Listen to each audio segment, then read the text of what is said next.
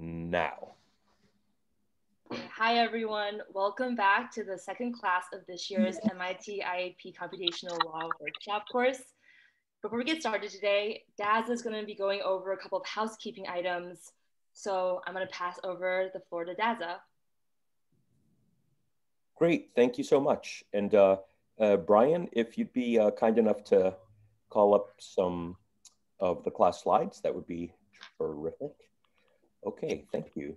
Uh, so, uh, welcome back, everybody. Um, I want to say that we had our, I'll just take care of some housekeeping things in a little bit of context setting. We had our first um, office hours last week on Tuesday, and I think it was successful. People seem to like it.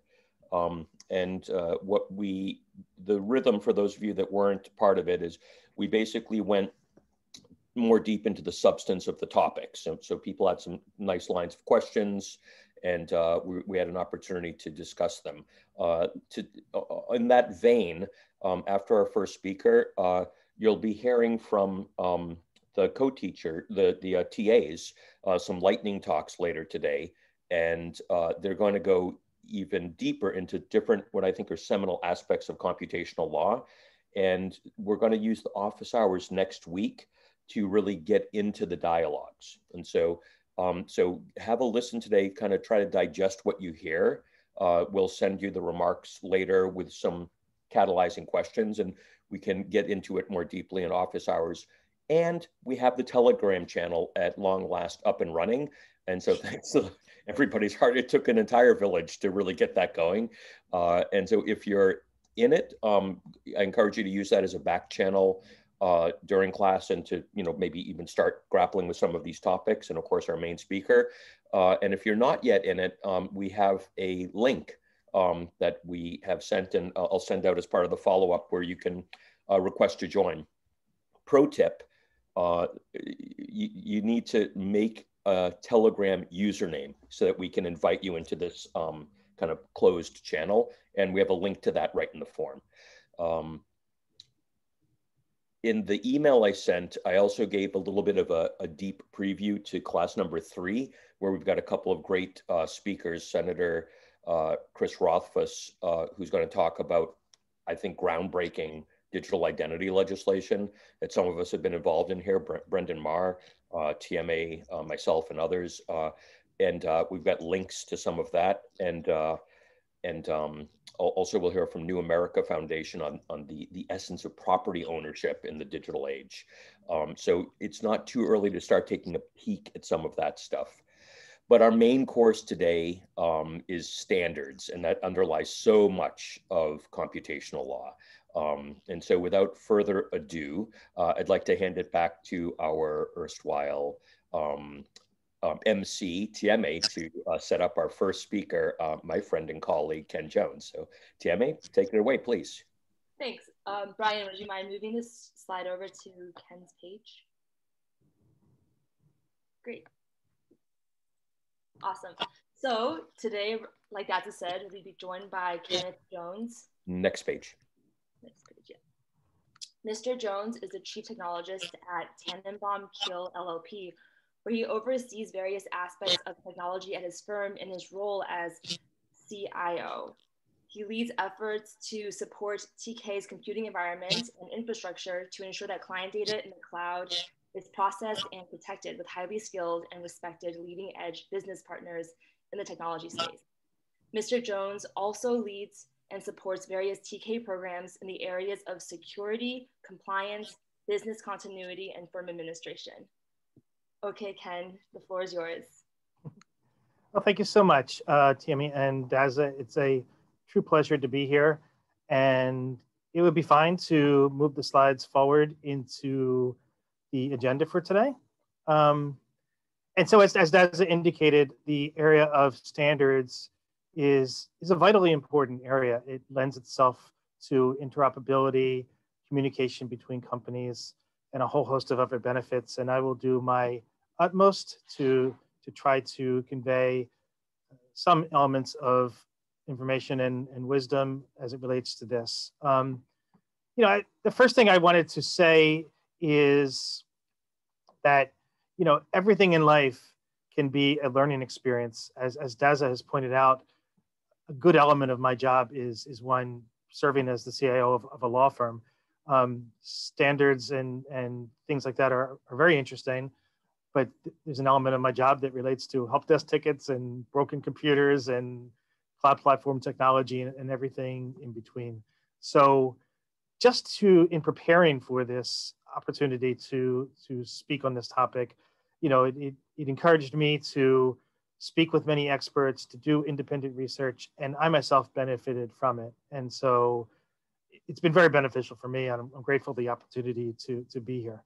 Um, as it pertains to my professional life, just to introduce myself, uh, Dazza made the same point I was going to make. I have a very practical job. You know, I'm just a, a simple chief technologist from a law firm with three offices here in the United States. Um, you know, Tanenbaum Keale is a litigation boutique, a full service firm serving primarily Fortune 500 companies. Um, you know, today we'll be discussing many theoretical topics, topics that are also practical and in, in practice, but other things that are more forward thinking and and my anticipation and Dazza and many others of, of the industry that we are all working with and, and studying. But, you know, I think it's important to note that a, a, balance between practical work and theoretical work is, is something we all have in our lives. It, it's, it's what makes life interesting and it's, you know, what, you know, um, makes us valuable in the marketplace. So today, um, we'll talk about some standards in, in business in general. We'll then shift into legal standards and talk about the history of legal standards in the marketplace. We'll talk a little bit about technology fragmentation in legal. And, and finally, we'll, we'll summarize many of the current and emerging legal standards. So we can go forward. Thank you very much. Um, and we'll talk to begin with um, about standards in industry. I've worked in the legal field for 18 years. Before that, I worked uh, for a big pharma company, Bristol Myers Squibb, for 13 years, pretty much my only two jobs. Um, and at Bristol, at the time, they were a large consumer products and pharma company, you know, something like Procter and Gamble and or J and J, or you know, and so forth. And so, as we sold to large customers like like drug retailers like McKesson, uh, companies like Walmart, some others that aren't in business anymore, there was a tremendous needs for standards to just handle day-to-day business like taking an order or making a shipment or invoicing. You know the kinds of things that we all see and do when we say shop online with amazon or, or any other vendor. Um, and and back then um, some standards bureaus emerged we had the american national standards institute um, which was primarily you know uh, an american thing uh, the united nations had something similar called EDIFACT, which was primarily European, not exclusively. Um, and business and enterprise had tremendous gains because instead of building one interface between companies, all of your customers for orders, um, we we had a common one. You know, you could reuse work, you could follow best practices. These standards were set by, you know, organizations, not by say a, a leading market leader like say Microsoft might set conventions for Outlook. Not that they do it poorly, but you know, but you know, it, it's still maybe better when you have a cross-functional team doing that. And and so I, I learned early in my career in the 90s um, some of the values of of standards in in the world. Um, Dazza, I think maybe you might want to make a, a brief additional comment in this area. Um, you know, I you know I, I do have some comments, but um, I think my I'm liking the flow of the talk, so I, I don't want to I don't want to interrupt okay. it. If you fair, don't mind. Fair enough. Thanks. Sure, sure, fair enough. So um, you know, be it understood that you know standards have tremendous value in industry, and we'll now shift gears, roll to the next slide, and begin to focus and hone in a little bit more on on our industry, on, on the legal industry. So again, this slide is meant to talk about the past. Uh, the past can be boring, but we can also learn from the past and from history. So there are really two primary standards or communication interchanges. They're, they're not confused, but used interchangeably, even though they're not really interchangeable. But there are uniform task-based management system task codes. And then there's this LEDES standard, the Legal Electronic Data Exchange Stand, which sends data around from point A to point B. Essentially what that is in, in practice is as timekeepers, attorneys, you know, or, or paralegals, legal assistants work on tasks for clients, they will enter their time into a system. I spent two hours working on a legal brief. I spent an hour doing research. I, I, I all day in a trial, you know, and, and so forth. And, and that data is, is entered into time and billing systems and transmitted to our, to our clients. And so the task codes were designed by the ABA. Um, the most common ones are something called a litigation task code set, which is there's five series, five phases, things like, you know, discovery, research, pre-trial, trial, and appellate. Um, and those codes are used to generate time entries, which generate invoices, which are transmitted to clients to generate payments. Um, and you know these standards, which were also made with uh, you know with the assistance of PricewaterhouseCoopers, they're they're widely used. You know this is the number one way that today law firms bill for time, and despite some weaknesses that we'll discuss later, it's still one of the ways that law firms are compared and contrasted with, with others in terms of how efficient we might be, who handles like matters better. Um, to a certain extent, it, there's efforts to try to use them for budgeting and very, you know, other other types of, of processes in the legal field. Um, so the, the key takeaway here is that there is at least one common standard in legal. It's it is LEDES and, and the task codes, and it's used extensively for billing. But in other areas, there are fewer, um, you know, standards in place. Now, to what extent is that important? And, and this is a, a little bit of, of a shift um, in, in, focus, but it's important to sort of set the scene and, and properly analyze the situation. Um, you know, the, the legal technology industry is fairly fragmented. Um, to compare and contrast it to other areas, you know, almost all of us, not all of us, but almost all of us would use Office 365, you know, for email and Excel and Word and PowerPoint and so forth. That's that's very consolidated, very standardized. Um, in the corporate world, ERP systems, enterprise resource planning, or or CRM systems, uh, customer relationship management, they're moderately consolidated. Um, Salesforce, for example, is a customer relationship management system that has a pretty good foothold in the marketplace. We've all heard of them. They're a common company. You know, it's it's fairly common when a salesperson for a Fortune 500 company might go out to make a call and transmit information back to their company that they're using Salesforce. Um, SAP is a large enterprise resource planning ERP system. It's it's fairly common that SAP or something like Oracle Financials could be used in in large institutional clients to handle many functions of, an organization. Um, example would be companies with, say, order to cash initiatives. This means everything from taking an order to getting a payment would be handled in a single system. Um, you know, other opportunities for this might be companies that have a single chart of accounts. Uh, you know, that's that's your general ledger. You know, and and having one of those throughout a large institutional company, well, it makes all the sense in the world, but in practice, that it, it's it used to be at least quite rare, and and and now it's increasingly common. So, you know, the legal industry tends to, however, have different players in different verticals. You know, companies that do practice management or matter management or document management systems, DMS, or time and billing, for the most part, are different companies you know, iManage and NetDocuments might be in the DMS space. They are in the DMS space, but they're not really in, in many other spaces.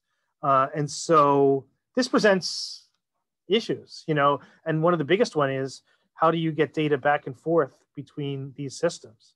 Going back to 10 minutes ago, you know, EDI standards with orders and, and financial information and shipments and so forth made that much easier in, in general industry.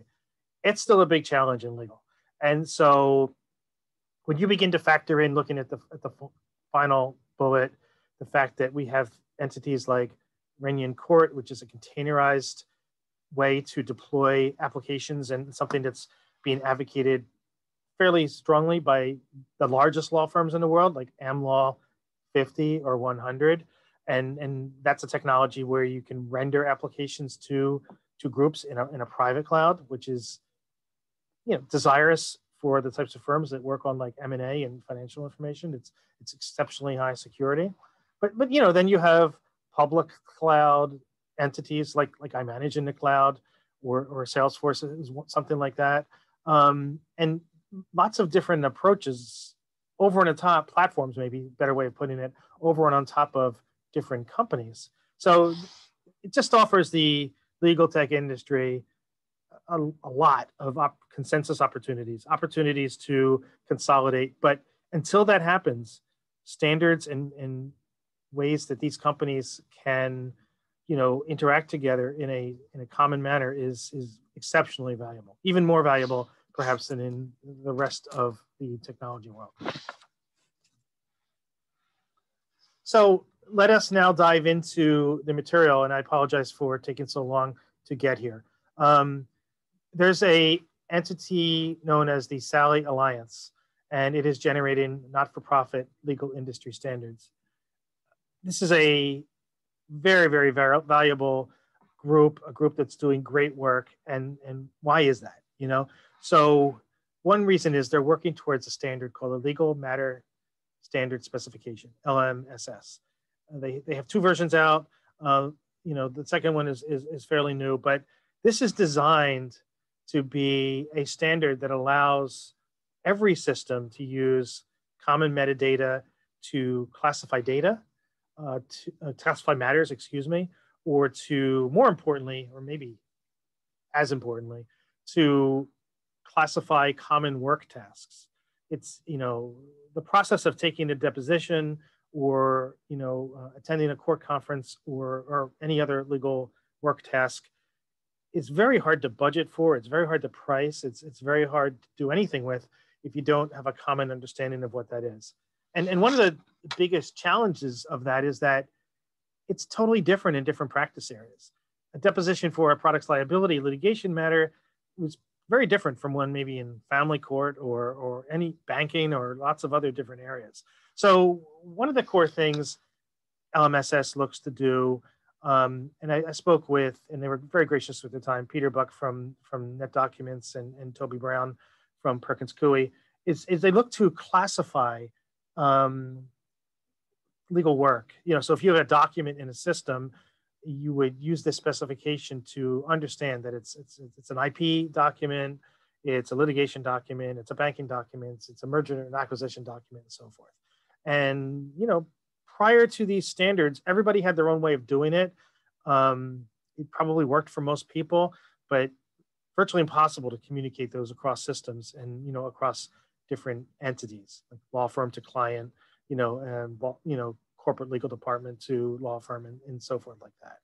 So, you know, a lot of great work being done there. And, and one of the reasons it's, it's really good, bouncing back to a couple slides ago, not that we need to do that, but just to relate back to it, is that the LEDES standards and the, the task codes were built primarily by the ABA and by PricewaterhouseCoopers. So, and, and, and the people did a great job. I'm not being critical, but it was created by lawyers, you know, and with that with their perspective on on the issue, whereas SALI is a broader consortium. They have folks from the courts, they have you know um, legal operations specialists, they have clients, they have law firms. They work very very hard to get a broad representation of stakeholders who can all hash out issues. It, it tends to, I think, probably make progress a little bit more slower and laborious, but at the end of the day, it, it cranks out better work product.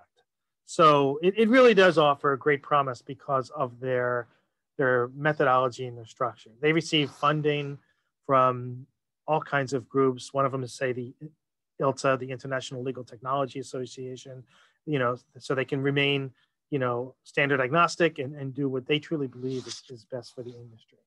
So their vision to date, you know, and, and I'm I'm no expert. Like I said, I'm a, I'm a practitioner more than a, a you know a, a, a, deep thinker, but they, they've done a lot of work on legal matters specifications. They're, they're looking into billing definitions. They're looking into the other types of litigation.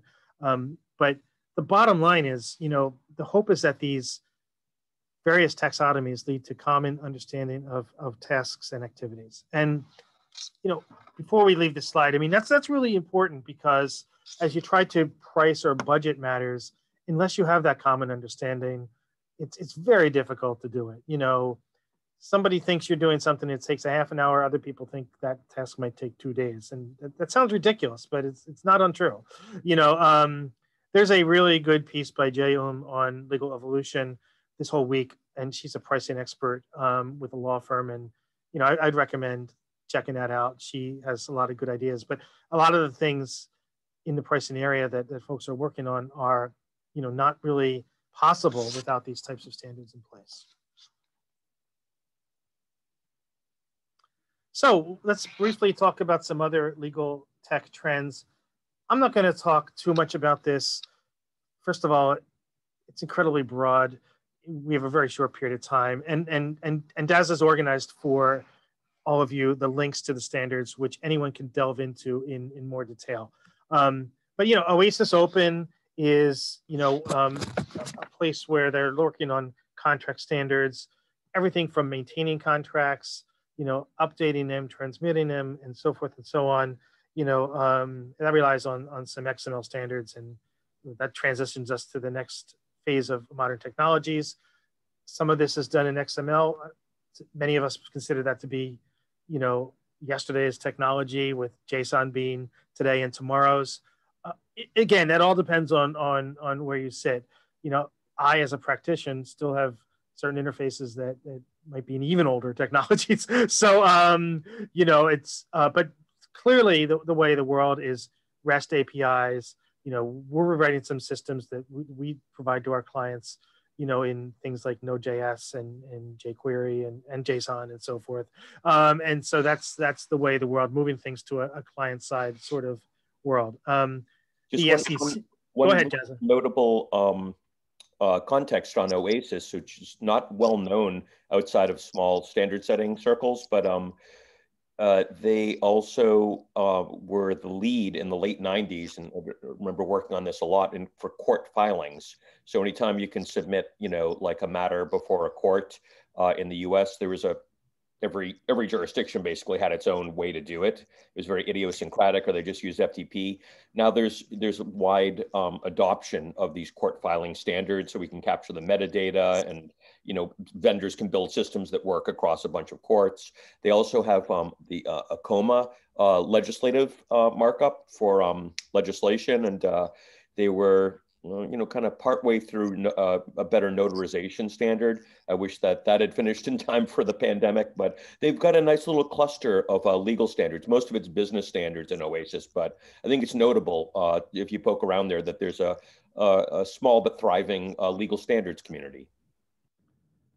Absolutely, and I'll, I'll, I'll br close briefly on this, but you know, SEC and Edgar have made similar headway with financially filings 10Qs and, and so forth. And so more and more, um, these standards are, are entering our industry and more and more people see the common value of them, you know, so that, you know, we can build things once and, and, and leverage it many times, which is a far more efficient way of working.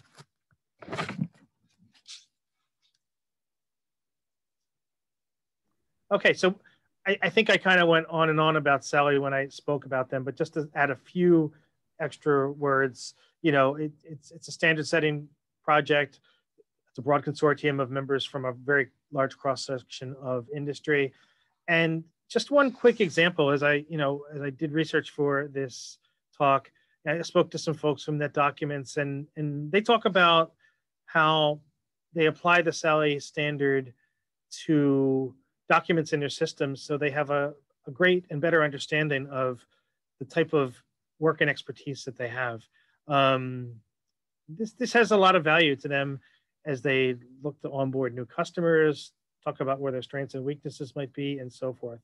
Um, another example in industry is like we briefly talked about, you know, um, looking at things like tasks um, and and applying standards to them. So we're not talking about apples and apples. You know, if I say I have to, you know, give give this talk today, there should be some sort of code or standard that helps people understand. I'll be spending an hour or so doing it. You know, not not not a week. You know, but um, you know, that's all those things are important, and and they're beginning to expand into other working groups, other countries. There's a Canadian working group, so a lot of great work going on there, and I highly recommend um, that you, you check them out and, and see what they're doing because I think it'll become more and more important in industry.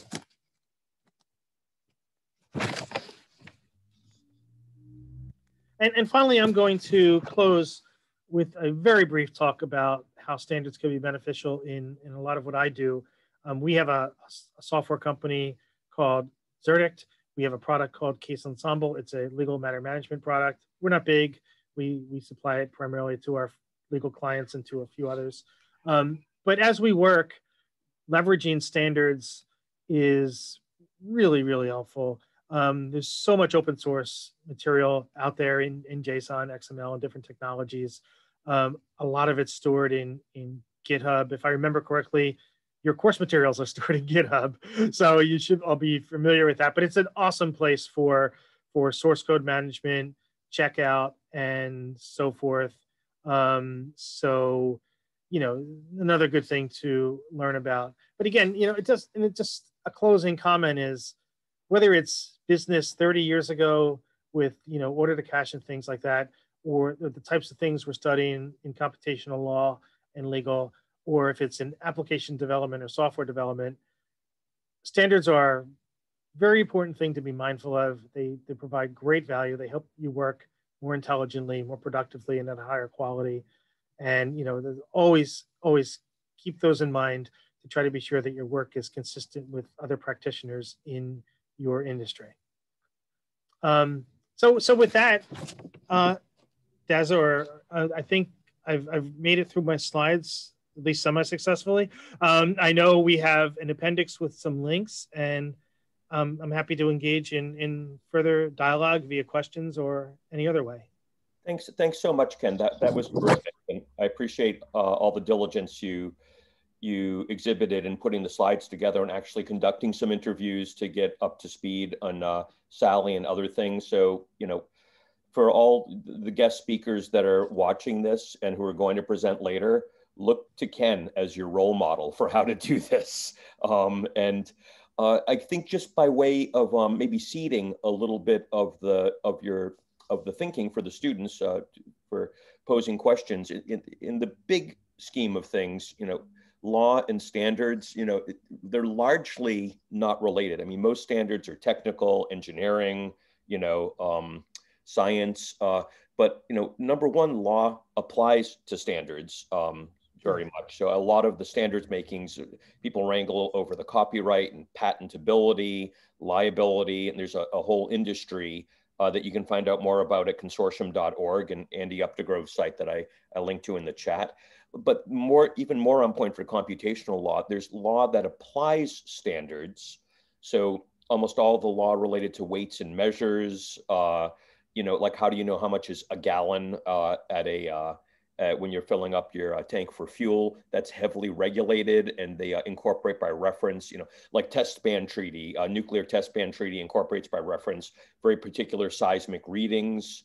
Uh, you know, building codes are incorporated by reference. We mentioned XBRL, Extensible Business Ref, uh, Reporting Language, is a, a, dialect of XML that's standardized. It's incorporated by reference in the SEC's regulations. also, there's legal technology standards, which is really, I think, the the focus of, of Ken's talk with SALI and billing codes and the e-contracts. Uh, and then there's standards for law itself, um, which we foreshadowed a little bit. That's when the standards are not uh, are, are for law. So U.S. markup language is what the U.S. Congress uses to mark up um, the, all legislation. We talked about Akoma is an international standard for that. Uh, I mentioned the court filing standards. And so this sort of crops up. There's many dimensions of, um, of relevance for standards and standards are so very important, just not only to benefit from the thinking of people about how to engineer a system and how to make sure it's fit for purpose, but also, as Ken was kind of foreshadowing a couple of times in the talk, for interoperability. So it's one thing if you're building a one-off system that you're the only person or a small team that will use.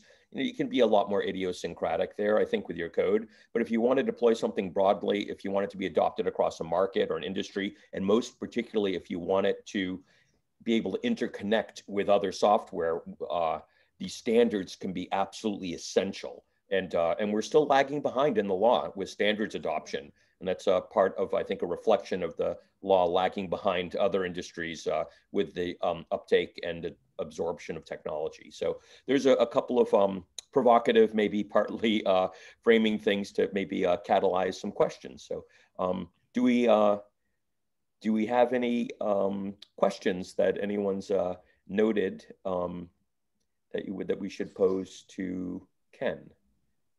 Yeah, we can go off in order. That works. Okay. What what do we have, TMA? So we have from Philippe. Um, in a nutshell, can anyone explain why JSON is better than XML and other formats, for example? Okay, I, will start on that one, but I'd love to hear from others as well, especially people who have really worked with this stuff. Um, so first of all, the word better is super loaded. Um, and so, you know, it's really like what is fit to purpose. Um, I generally find JSON way better for almost everything I ever do with technology, and XML almost never comes up. Uh, but XML, if you're doing a, a, markdown of a document with a document structure, XML is really good for that. Um, the uh, the S, XML is itself a subpart of a broader standard called SGML, uh, which has a lot richer functionality, and you can go much deeper. Um, so that's great if you're marking up documents uh, or if you're dealing with a legacy system that does things with XML terrific. There's also some XML in other parts of technology. Sometimes it's used for meta, meta information, you know, um, encapsulating other data. The thing that's great about JSON, I think, um, is that uh, number one, it, it lets us become more data centered and less document centered. Um, that's very, very important when you're having dynamically generated information or when you want to break things down to smaller modular pieces, when you want to do analytics, that kind of stuff. Um, it's, it's a struggle to turn something from XML to you know traverse the schema, as it were, um, and to turn that into something that's either tabularized or object oriented, or that you could is suitable to put into a database or, or something where you can start to do analytics or anything with it. It's like really hard. JSON, it's like uh, hot butter. It's super easy. The other thing is that it's uh, if you're using a REST API application programming interface, and that is the that's the lingua franca of the web. They all are native JSON. Um, so like that's how the data is structured um, and ser- and you know serialized. Uh, yeah, and so Dazza, that that that's a good time for me to jump in because that was going to be my my point. Was I'm going to just keep very general, but. JSON is is part of REST API and part of you know 2.0 technologies more even more broadly. And you know one of the huge elements of value we see in moving from server side to client side technology as we redo our systems is just reducing calls back to databases, processing more data in, in browsers, um, and, and being far more efficient in how we render information to to our customers to our clients. You know a lot of legal has tremendous amounts of data maybe not data per se but large document sets associated with with um, cases and so forth. And so the more time you can process without going back and forth to servers the better response time the better service the better you know um, acceptance level you'll have with your users in terms of, of how things work and so forth. So JSON is kind of just packaged with a lot of other things, you know, within REST API, and it's kind of it is just the way to go. And I know that's not a technical statement, but it's the way to go as you're rebuilding building systems in the future. You're here. And just a, a quick um, program note, um, we have a heavyweight uh, with technology and standards in with us today, uh, Brian Ulicny, who, who uh, um, really um, did great work with um, Thomson Reuters Labs in Boston and so much other great work, uh, is saying to everybody almost like a safety note. Um, SGML is way harder to deal with than XML. Don't go back. Yeah, I agree. Don't go back to SGML. It's just notable that it's there uh, and it does more. Um, so, uh, do we have time for one more question, Ken? I know you got to run soon. No, no, I have time. Sure, go ahead. Okay. Okay, so Valeria asked, talking with lawyers in your job, did you consider if there are any areas of law that are easier or harder to adapt and transpose in these standards? If yes, which ones are they? Okay, so I mean, certainly. I mean, depending on who you're speaking with and what type of, of practice you're working with, um, things can be easier or harder. Uh, as an example, lawyers who are working on contracts and agreements for the most part are quite used to standards, many of the ones that we've talked about in this presentation. Um, lawyers who work more on M&A and financial work and with other business professionals who may be more technology astute than others, um, and or or those who work with the largest companies in the world are probably, again, more apt to adopt standards and so forth. Um, you know, conversely, you know, maybe lawyers who, I don't know, work on research or trial matters or you know other types of work that are more narrative and and you know qualitative rather than quantitative might be less likely to even understand you know it's just the standards is there's probably lots of folks in the world who have problems digesting standards like this. Um, so it's it's not something you can answer very easily, but but sure. I mean, different classes of folks are more or less adaptive to all technologies, standards included. Awesome. So uh, Ken, I want to thank you so much for the for the talk. If people have uh, more questions, um, you know, pop them through our questions form, which we'll send a link to. Um, and uh, and um, and you're welcome in this class anytime, Ken. You ever want to pop in? Um, just thank you again so much for your your time and your diligence, and, and for the excellent content that you shared. Well, it was, it was a pleasure to be here, and like I said, it was a great learning experience for me. And I, I apologize for having to leave early, um, but I certainly will participate in the future, and, and wish you and everybody all the best. Have a have a great day, everyone. Great, thanks so much. And so I am going to take the liberty of handing it to Brian Wilson, um, who's going to set up a really fascinating part of this class that I'm so excited about. Um, so put your seatbelts on, everybody, and prepare to be, I'm just going to say, blown away by some talks that I, I just thought were seminal for computational law. I know I'm, I'm ruining the expectations game here. You're supposed to set them low. I'm just setting them accurately. so Brian, why don't you why don't you uh, set it up for us, and uh, and then afterwards we'll we'll seek uh, like maybe one question for each uh, for each of these talks. Hit it. Sure thing. So coming up next, we're going to do something that we haven't really tried before in this course, and that is this idea of lightning talks. So we're going to hear from uh, the three TAs, Andrew, Megan, and TMA, on some topics that they've been doing research into They'll give about a three to five minute presentation. We'll take one question. So please uh, kind of be adding those into the chat uh, chat on Zoom, and then uh, we'll kind of go into a bit of wrap up. Um, so first off, we have the legislative recipe, syntax for machine readable legislation. Take it away, Megan. Great. Thank you very much, Brian. The prospect of machine readable legislation is both terrifying and thrilling. This renewed popularity is owed to the Rules as Code initiative. The fervor around Rules as Code was accelerated by the recent OECD Observatory of Public Sector Innovation report titled Cracking the Code. This report articulates how machine consumable, defined as machines understanding and actioning rules consistently, reduces the need for individual interpretation and translation, and helps ensure the implementation better matches the original intent. This methodology enables the government to produce logic expressed as a conceptual model, in effect, a blueprint of the legislation. So what is the attraction and what are its limits? I frequently turn to this example. Layman E. Allen lamented about ambiguity in legal drafting owed to syntactic uncertainties. In a fascinating study, he deconstructs an American patent statute and notices immediately the complexity with the word unless. He asks whether the inclusion of unless asserts a unidirectional or a bidirectional condition. That is, does the clause mean A, if not X then Y, or B, if not X then Y, and if X then not Y. Though nuanced, Allen exposes an ambiguity that muddies the legal force of the statute. An interpretation of unless as a bidirectional condition raises the question of what not why would mean. In this particular case, this could affect whether exceptions are possible in determining patent eligibility. In short, for Allen, legislative language must have a clear structure. These ideas are not new. The ancestry dates back to 12th century logicians reflecting on the use of mathematically precise forms of writing.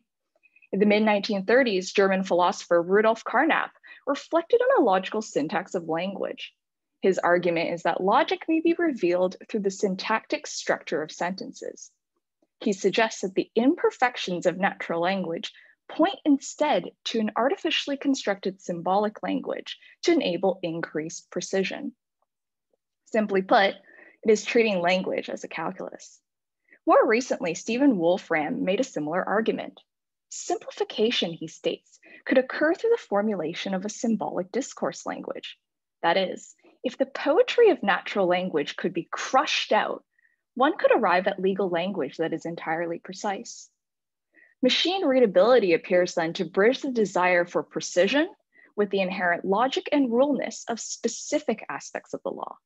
In other words, a potential recipe to resolve the complexity of legalese. However, if a new symbolic language like code effectively enforces a controlled grammar, what are its implications as it moves across the legal ecosystem? In particular, its interactions between various legal texts. Machine readable legislation may therefore be regarded as a product that evolved out of the relationship between syntax, structure, and interpretation. But at the core, it boils down to one question. What should be the role of machine readable legislation? Is it simply a coded version of legislation, one possible interpretation? Or is it a parallel draft of the legislation, one that has legal authority? Or is it a domain model of regulation from which third parties derive versions, such as an open source code, to say? These three scenarios, and of course not exclusive to the three, have their own sets of implications. And only in answering this question would a fruitful assessment of how logic syntax and symbolic language found in machine readable legislation are capable of representing legal knowledge. Thank you. Very good. Does anybody have any questions that we might go to? And if there aren't any, I might speed one. Um, so Leonardo has a question. Um, hermeneutics is considered a technique of interpreting text legal text for our matters while at the same time creating it. And this concept, concept is very important in many jurisdictions, um, including Brazil, US, and others, in, in which there's so-called this notion of judge-made law. How do you reconcile the kind of like ambiguity of judge-made law with uh, machine-readable legislation? Mm-hmm. So this is a really fascinating question. One of the sort of things that I point to when I say what is sort of what would happen if you have machine readable legislation sort of interact with other legal texts? For example if it's related to how it affects sort of contracts and in a, in a way how it affects judicial opinions. It's much to do with the conversation around it. And so i point back your question to which version of machine readable legislation are you considering here um, is it that it's just one variation? So when I talk about the one possible interpretation, because if it's just one possible interpretation, then it means that you can still often refer to a natural language variation of it. And that's where that dialogue between sort of judge made law or, you know, judicial opinions can interact with the legislation very similar to what's happening now and there's no change but if it if the machine readable legislation does have legal authority then the question is different, right? Um, what would the court regard as the one that should take precedent? Should it be the coded version or should it be the natural language version? And so your question is sort of, what do you think? Again, I'm turning it back to you. What do you think the role of machine readable legislation is? Because its implications, again, are dependent on kind of these various ways to see machine readable legislation.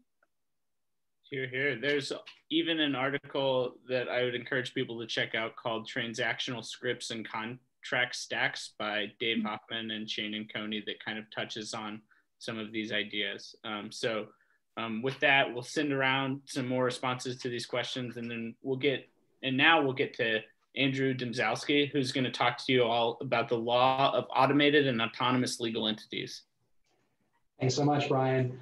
Uh, my lightning round discussion focuses on the laws of automated and autonomous legal entities. Some in this class, especially those with a blockchain background, may be familiar with the concept of a decentralized autonomous organization. My discussion will take as a thought exercise a legal entity that goes one step further than a DAO, an automated autonomous organization. This would be akin to a program which conducts legally significant affairs on its own. The overarching question here is, how would the law treat such an organization? What would the standard be for automated entities? I think that question can be split into two parts. First, how would the law treat liability stemming from an automated entity? And second, would that entity have legal personhood?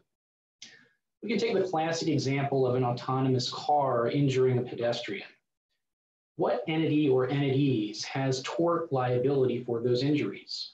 The manufacturer, the driver, the AI? Is there any criminal liability to assign? Can an AI have criminal intent? And what would you do with it if it did? How do you place an AI in jail? Broadly, the literature has considered many different potential liability frameworks for AI, including strict liability, agency law, or products liability or inventing a new framework entirely, perhaps a jurisdiction. In his article, How to Sue a Robot, Roger Michalski coined the term in robotum for this purpose, a jurisdiction specific for artificial intelligences. As it relates to the second question on personhood, over the years, the law has assigned different legal statuses for many non adult human persons. Children, animals, wild animals, corporate persons, even bodies of water such as rivers have acquired legal standing in certain circumstances. What standing should an autonomous organization have?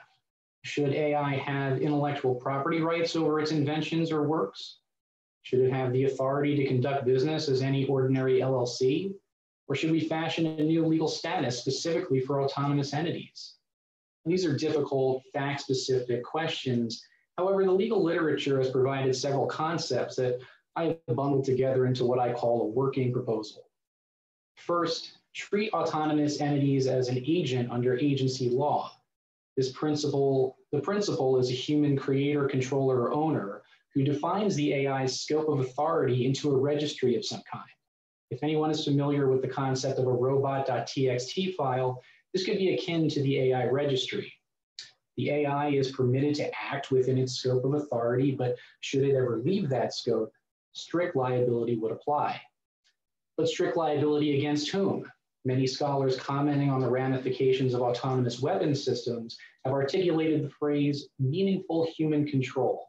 That is, those with meaningful human control over the AI could be responsible in a strict liability framework. This would satisfy a social demand for AI responsibility and avoid a potential accountability gap that could occur. Consider the scenario of an autonomous car injuring a pedestrian with no human person being held legally responsible. It is still very early in the evolution of the regulation of autonomous entities, but it is a critical discussion to have, as it may become very relevant sooner than many think. So, what would be your proposal? How should we apportion liability stemming from the actions of artificial entities? What should the legal standing be of AI? And perhaps most importantly, what implications would our treatment of AI have on the future of law and technology? Thank you.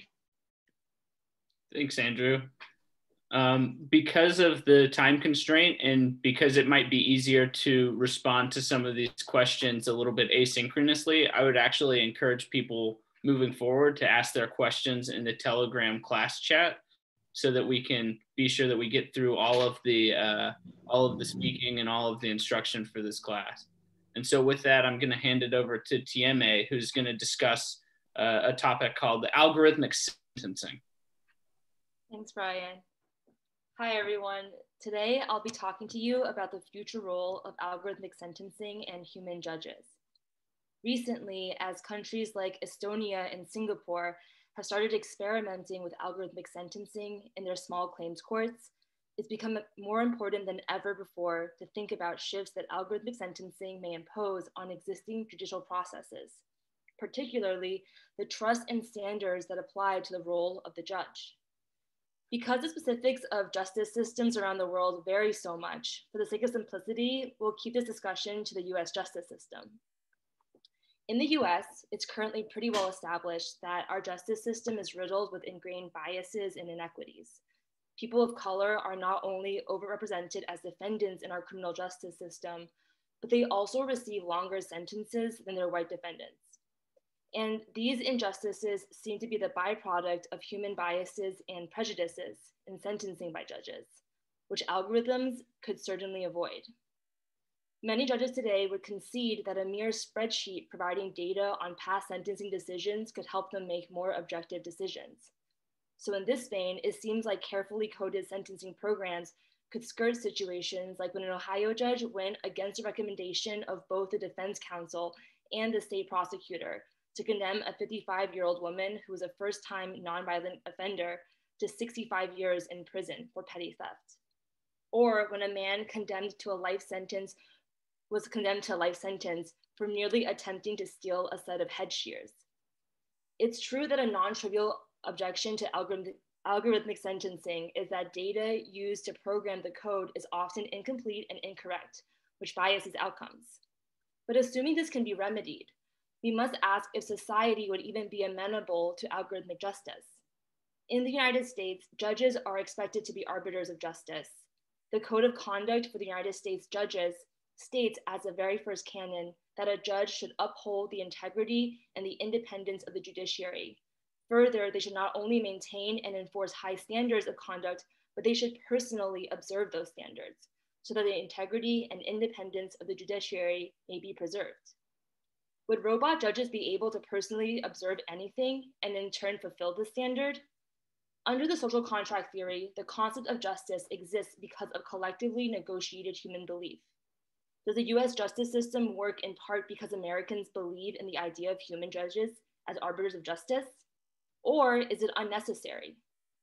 It's clear that the advent of algorithmic sentencing is calling into question the role of human judges as referees of justice.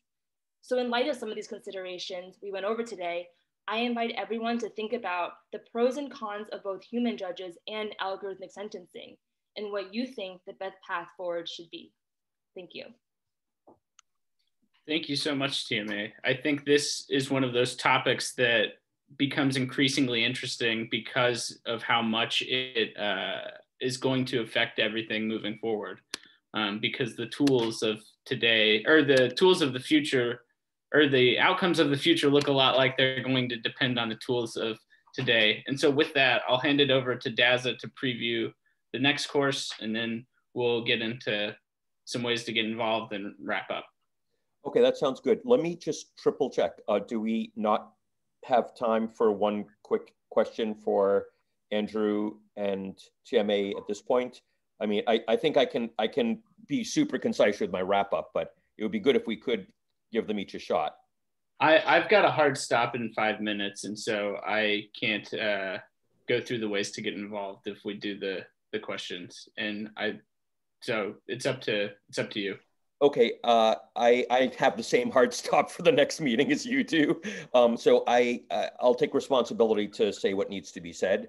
And I want to pose quickly, so please be, be concise. We do have a question for Andrew from uh, Despina, and it's, uh, would it not still, uh, so it's an interesting point, would it not still stumble on the limits of that part of AI that is not explainable? And I think that uh, related to, you know, kind of holding these entities accountable and you might want to mention the aspects of strict liability uh, in the US context.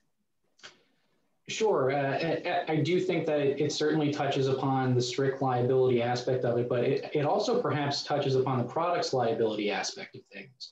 And that was one of the, the parts that I had considered in adopting uh, the working proposal. But one of the limits that it comes into when you consider applying AI liability in a product's liability uh, situation is the, the case law of products liability essentially uh, requires a demonstration of using a reasonable alternative. And so in, in advanced AI situations, you're going to have uh, situations in, in which perhaps it's inexplicable why AI conducted a particular action, at least as far as uh, you know a human uh, adjudicating the AI, or perhaps uh, it would simply become way too verbose to go through a situation like that in a litigation context. So explainability is certainly uh, very difficult, especially for a sufficiently advanced AI, and that's why strict liability, kind of as a, a, a necessary container, uh, I think works perhaps better as a way of having the legal certainty that will assign liability to a human person with meaningful human control over the AI, regardless of the explainability factor. Outstanding. Thank you so much, Andrew. And we have a quick one for TMA, an excellent one uh, from Walter Stover. Uh, does the attempt to make a non-biased algorithmic sentencing system by training it on a database that itself may reflect bias against certain individuals, in other words, by training it on pre on, on all the prior sentencing, um, uh, you know, um, itself, you know, isn't that bad, basically. Uh, and so, like, uh, you, what what do you think um, about that? And can you think of any alternatives? Yeah, so 100% that is a concern with um, training algorithmic sentencing. But I think that so th- there's an article in the Atlantic that talked about how judges, when they were able to look at um, spreadsheets that showed sen- prior sentencing decisions, they were on a whole able to have more uh, more objective decision making. And so I think that when we're training an, like an algorithmic sentencing, uh, a sentencing algorithm, if we're able to have humans do uh, reflect on what, you know how objective each decision is and have those decisions reviewed and that data pruned, I think over time we can reduce a lot of the biases that we see inherent in a lot of the data sets that are being used to um, code these programs. What do you think, Dazza? Oh. Oh, this is on mute. But... I'm sorry. Um, so super quick. Thank you, TMA. Um. And uh, so we're going to send you an email today um, with um, everything you need to know uh, about what happened and what's going to happen. But I want to highlight, um, go ahead and join the Telegram channel if, if, you can. We'll send a link to it. Office hours are turning out to be great if you're free on Tuesday at 1 p.m. Eastern. And contact Brian. I mean, one of the biggest wells of potential um, value from this class is doing experiential learning. Brian has selflessly volunteered to actually mentor and organize projects. Take him up on that if, if you haven't signed up yet. You can do a paper, a prototype, um, right, uh, other stuff. Um, and so uh, I'll send that link again too. It's not it, right. It's not too late, or is it too late now, Brian? No, it's, it's not, not, too late. Um, I, I, would say, uh, you know, fill out the form that you're interested in submitting a project. Um, we've already had a few submissions. I'm planning to get through those submissions this this week and get feedback to everybody. Uh, the only kind of hard deadline I would say is if you want to submit a project, submit it before the next class period, and then during uh, the period between class three and class four, we are going to request that students submit a final project. Um, and final project for the scope of this course is different than final project for maybe where you want to wind up. So last year we had some final projects that took the form of, you know, Google slide presentation or, you know, just a pitch and wound up becoming fully fledged papers that we published in the computational law report later on. So I would encourage everybody to kind of find, you know, a way to get something down that sort of represents the kernel of the idea that you're interested in. And then from there, we can go into and work together to find a way to get that to whatever the final place for it should be. Indeed, yes. So in a sense, it's the final start of a project if you want to continue it. Uh, Tieme, uh, could you bring us home? okay, guys, this wraps up our second class for this year's computational law report. Um, and like last time, if you have any questions, please email us, fill out the Google form, or message us in Telegram. Okay, we'll see you guys next week. Great. Thank you. Bye. Take care.